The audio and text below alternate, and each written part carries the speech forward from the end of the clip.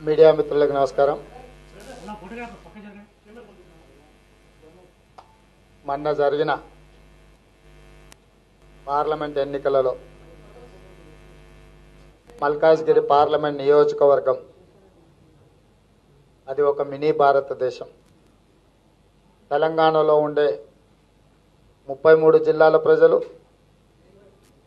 భారతదేశంలో ఉండే అన్ని భాషల వాళ్ళు బిహారీలు బెంగాలీలు గుజరాతీలు మరాఠీలు కన్నడిగలు తమిళులు ఇలా చెప్పుకుంటూ వెళ్తే భారతదేశంలో ఎన్ని ప్రాంతాలు ఉన్నాయో అన్ని ప్రాంతాల ప్రజలు నివసించే నియోజకవర్గం మల్కాజ్గిరి పార్లమెంట్ నియోజకవర్గం.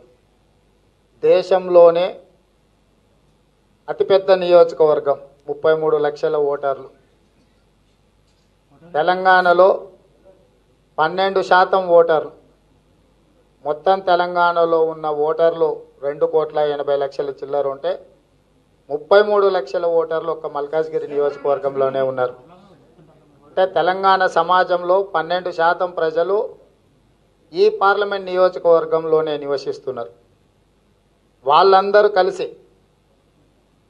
మొన్న జరిగిన శాసనసభ ఎన్నికలలో కొడంగల్ నియోజకవర్గంలో కేసీఆర్ హరీష్ కుట్రలు కుతంత్రాలు అధికార దుర్వినియోగం అడ్డగోలు వ్యవహారాలతోని అక్కడ ఓడించిన మనం సంబరపడుతున్నప్పుడు ప్రజాస్వామ్యాన్ని పరిరక్షించడానికి ప్రజాస్వామ్యం ప్రమాద గంటికలు మోగినప్పుడు అప్రమత్తమైన ప్రజలు కేసీఆర్ గారికి గుణపాఠం చెప్పడానికి వాళ్ళే కథానాయకులై మల్కాజ్గిరి పార్లమెంట్ నియోజకవర్గంలో కాంగ్రెస్ పార్టీని గెలిపించడం జరిగింది. ఈ గెలుపు ప్రజలది. ఇందులో వ్యక్తులు పార్టీలు ప్రమేయానికంటే కూడా ప్రజల ప్రమేయమే అత్యధికము.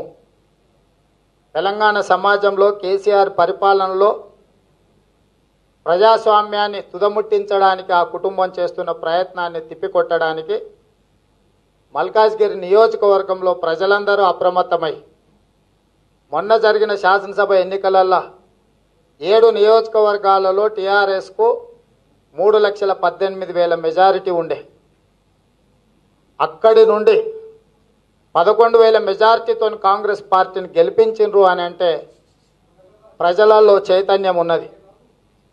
ప్రశ్నించే గొంతుకను కాపాడాలని ప్రజలు భావించిండ్రు ఎదిరించేవాడు లేకపోతే బెదిరించేవాడితే రాజ్యం అవుతుందని చెప్పి ప్రజలు భావించిండ్రు కాబట్టి ఈరోజు కాంగ్రెస్ పార్టీని మల్కాజ్గిరి నియోజకవర్గంలో పట్టం కట్టిండ్రు.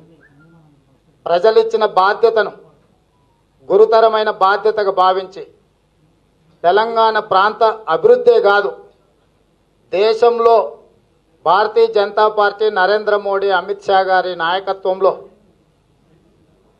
సమాజాన్ని విచ్ఛిన్నం చేసి విభజన చేసి పాలించి పార్టీని గెలిపించుకోవాలని ఏదైతే ప్రయత్నం చేస్తుండ్రో ఈ ప్రయత్నాలను తిప్పికొట్టడానికి పార్లమెంటులో మా శాయశక్తుల ప్రయత్నం చేస్తాం. అదేవిధంగా రాహుల్ గాంధీ గారి నాయకత్వాన్ని బలోపేతం చేసి వారి నాయకత్వంలో ఈ దేశానికి బలమైన పాలనను కాంగ్రెస్ పార్టీ ద్వారా అందించడానికి అవసరమైన అన్ని రకాలుగా మా వంతు కృషి చేస్తాం.